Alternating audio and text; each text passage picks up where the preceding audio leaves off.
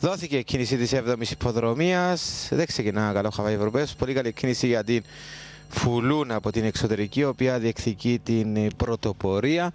Από την ε, Πλέντε λένε η οποία είναι κοντά εσωτερικά ο Μουνσάτο από την εξωτερική νηστροβόλιο του. Στο η πρωτοπορία βρίσκεται η Φουλού προηγούμενη της Πλέντε λένε με την ε, στροβολιό του να αναπτύσσεται στην τρίτη θέση με λίγο πιο πίσω ο Μουνσάτο. Τούλα εντούλα προσπαθεί και βελτιώνει η θέση. Στο 500 στην πρωτοπορία βρίσκεται η Φουλού Πλέντε λένε στροβολιό του. Τούλα εντούλα ακολουθώ. Χαβέ Ευρωπαίζω βελτίωσαν και αυτό σε θέση του 400 στην πρωτοπορία. Η Φουλού προηγείται με τη στροβολιό του να βρίσκεται στη δεύτερη θέση τώρα και πιο πίσω ο Χαβάη Ευρωπαίος με δυνάμεις. Η Τούλα Εντούλα ακολουθεί. Η Φουλού βρίσκεται στην πρωτοπορία.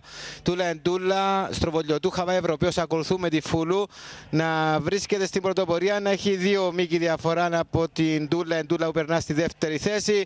Φουλού στην πρωτοπορία από την αρχή. Κατευθύνεται ακάθεκτη για να πετύχει μια άνετη νίκη. Τούλα Εντούλα, Χαβάη Ευρωπαίος και στροβολιωτού.